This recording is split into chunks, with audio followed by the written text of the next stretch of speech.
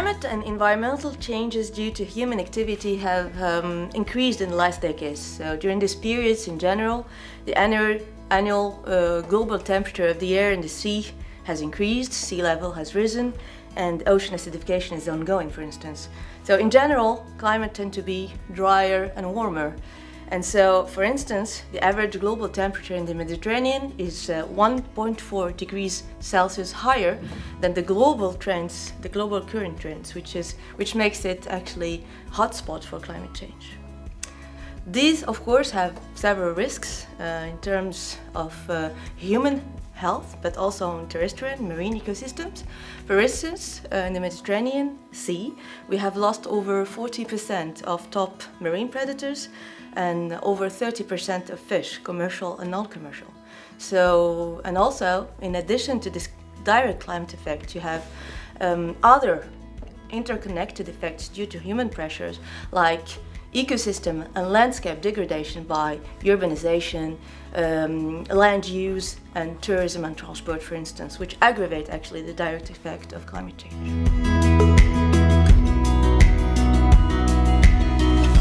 As for future projections, I can uh, think about three main challenges. So, the increase in temperatures and air temperatures that are expected to be between 2 and 6 degrees by the end of the century.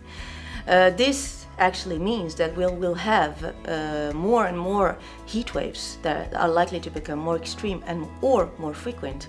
And um, one of the main consequences actually is uh, the decrease in precipitations in the, uh, in the whole Mediterranean region, which will have an effect on the scarcity of uh, freshwater resources, for instance, and all the implication for health, industry, agriculture, and, and go on and on.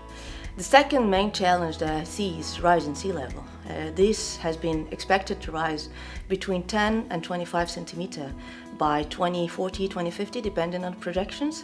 So this will implicate that uh, um, floodings will be more, more and more frequent. Erosion rates will, will increase, and other problems such as salination of uh, coastal aquifers, which will make them unusable actually for irrigation, for instance, or for agriculture.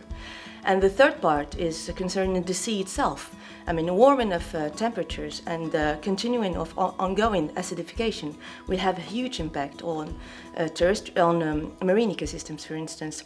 And uh, as an example, we could cite uh, aggravation of the actual invasion by alien species that are more adapted to extreme conditions, and uh, uh, on the other hand, the mortality, increased mortality of indigenous species that will occur in these environments.